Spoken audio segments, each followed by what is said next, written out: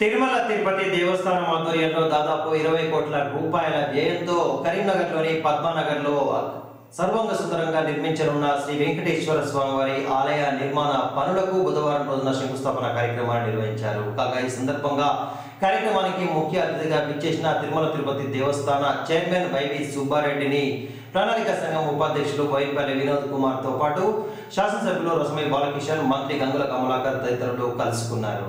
కరీంనగర్ జిల్లా కేంద్రంలో తిరుమల తిరుపతి దేవస్థానం ఆధ్వర్యంలో నిర్మించబడుతున్న శ్రీ వెంకటేశ్వర స్వామివారి దేవాలయ భూమి పూజ మహోత్సవానికి టీటీడీ చైర్మన్ వైవి సుబ్బారెడ్డితో పాటు ప్రణాళిక సంఘం ఉపాధ్యక్షులు బోయినపల్లి వినోద్ కుమార్ శాసనసభ్యులు రసమై బాలకిషన్ తదితరులు హాజరయ్యారు. కాగా ఈ సందర్భంగా బుధవారం రోజున వారిని కలుసుకున్న వేములవాడ బీఆర్ఎస్ సీనియర్ నాయకుడు ఏనుగు మనోహర్ రెడ్డి మాట్లాడుతూ కరీంనగర్ జిల్లా కేంద్రంలో కలియుగ దైవం శ్రీ వెంకటేశ్వర స్వామివారి ఆలయాన్ని నిర్మించడం సంతోషకరమని కోట్లాది భక్తుల కొంగు బంగారంగా విరసిల్లుతున్న వెంకటేశ్వర స్వామి వారి ఆలయం తమ చెంతకే రావడం పట్ల పలువురు సంతోషాన్ని వ్యక్తం చేస్తున్నారు అని సందర్భంగా పేర్కొన్నారు.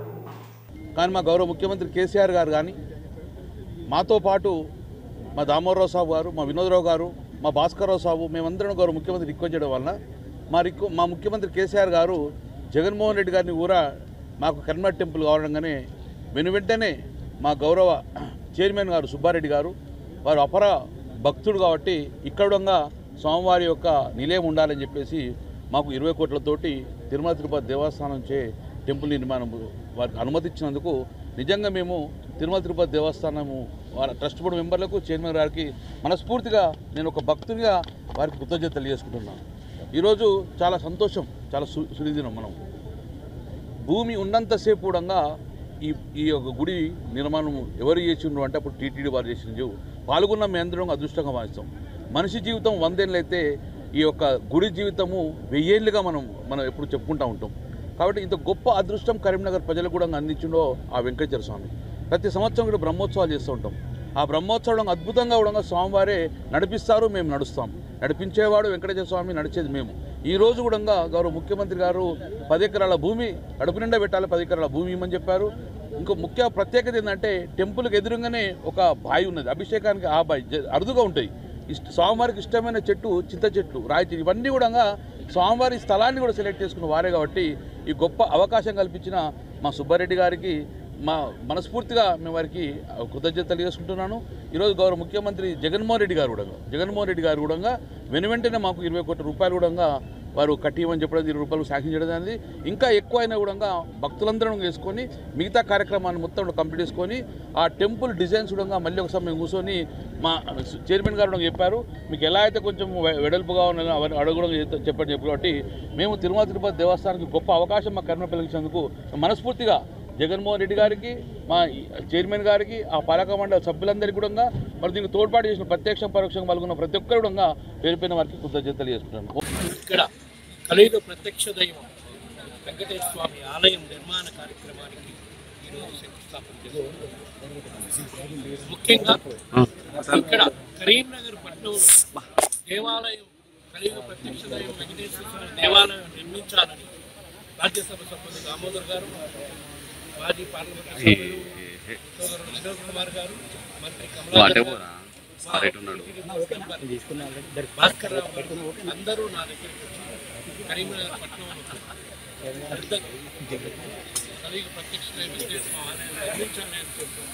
తప్పకుండా నిర్మాణం చేపడతాము మాకు దాని ప్రకారం ఆలయం నిర్మించాలంటే సుమారుగా పది ఎకరాల ల్యాండ్ కావాలి అందుకని తెలంగాణ గౌరవ ముఖ్యమంత్రి గారు కలుపుకున్న చంద్రశేఖర్ గారు టీటీడీకి దేవాలయం నిర్మాణం కోసం కరీంనగర్ పట్టణం నడిబొడ్డున పది ఎకరాల ల్యాండ్ ఇచ్చిన మేరకు ఆంధ్రప్రదేశ్ గౌరవ ముఖ్యమంత్రి జగన్మోహన్ రెడ్డి గారి ఆదేశాల మేరకు తిరుమల తిరుపతి దేవస్థానం ఈ ఆలయం నిర్మాణం చేపట్టడానికి ఈ రోజు శంకుస్థాపన చేసుకోవడం జరిగింది ఈ ఆలయం నిర్మాణం ఇంకా ఏ మేరకు కట్టినా ఇక్కడ దాతల సహాయంతో ఈ ఇరవై కోట్లు చాలక ఏ నిధులు అవసరమైనా కూడా దాతల సహాయంతో కలెక్ట్ చేసి ఈ దేవాలయం ఇంతకన్నా గొప్పగా నిర్మాణం చేసే కార్యక్రమం చేస్తామని చెప్పి ఈ సందర్భంగా తెలియజేస్తున్నాము ఈ ఆలయం నిర్మాణం ఎందుకంటే యావత్ భారతదేశంలో తిరుమల తిరుపతి దేవస్థానం ఆలయాలు తిరుమలలో ఏ విధంగా కలిగి ప్రత్యక్ష దైవ ఆలయం ఉంది,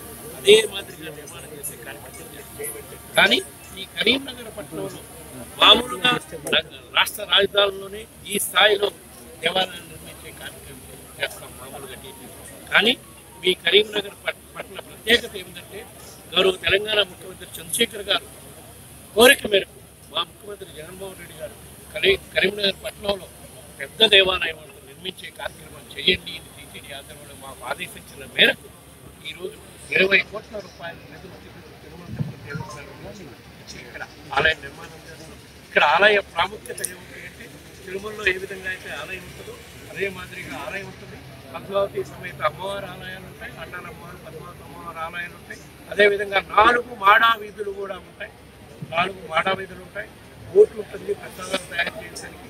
అదేవిధంగా తిరుమలలో ఏ విధంగా అయితే స్వామివారి కైకార్యాలు ప్రసాదాలు నిత్యము నైవేద్యాలు ఇస్తారో అదేవిధంగా ఈ కరీంనగర్లో నిర్మాణం చేసే ఆలయంలో కూడా భక్తులకి నైవేద్యాలు ప్రసాదాలు ఇక్కడ స్వామివారి సన్నిధిలోని తయారు చేసి ఇచ్చే కార్యక్రమం చేస్తామని సందర్భంగా తెలియజేస్తున్నాం ఈ ఆలయ నిర్మాణం కూడా అన్నిటికంటే ముఖ్యంగా నిన్న వారు పూజ చేసేటప్పుడు వారి మాటలలో ధ్వనించింది ఏంటంటే కరీంనగర్ నగరానికి ఇటువైపు నుండి చూడాలట. కరీం నగరం మొత్తం కూడా తూర్పు వైపు ఉండాలి. అసలు దేవాలయము ఇది అనేది చాలా చాలా ఇది నగరానికి ఒక గొప్ప దీవెన అని చెప్పి వారు చెప్పడం జరిగింది. ఎందుకంటే నగరానికి మొత్తం కూడా మరి స్వామివారు తూర్పు దిశ నుండి చూడడం అనేది చాలా అరుదు చాలా దిక్కుల ఈ విధంగా అవకాశాలు ఉండవు. కరీంనగర్ పుణ్యం ఇది. కరీంనగర్ నగర ప్రజలకు చాలా గొప్ప వైభవం అని చెప్పి నిన్న వారు చెప్పడం జరిగింది.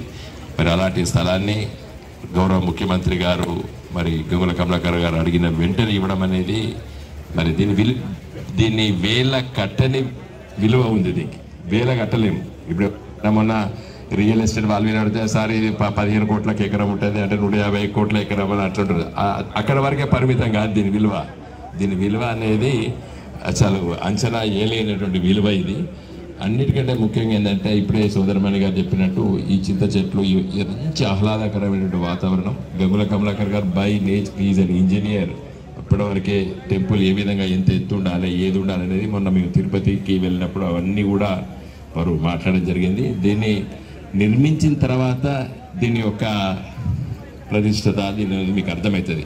పది ఎకరాలనే చా ఇట్స్ నాట్ ఏ జోక్. ఇంత గొప్ప చెట్లు ఉన్నాయి. ఇదంతా కూడా మెడోస్ లాగా బ్రహ్మాండంగా కార్పెట్ గ్రాస్ వేసేసి మరి పార్కింగ్ ప్లేసు ఒక దిక్కు ఉంటుంది. భక్తులు కార్లలో వచ్చినప్పుడు అక్కడే ఉంటారు. చాలా గొప్పగా ఉంటుంది. కోనేరు కళ్యాణ మండపం. తర్వాత అన్నిటికంటే ముఖ్యంగా మరి పూజార్లు ఇక్కడే ఉంటారు. పూజార్లకి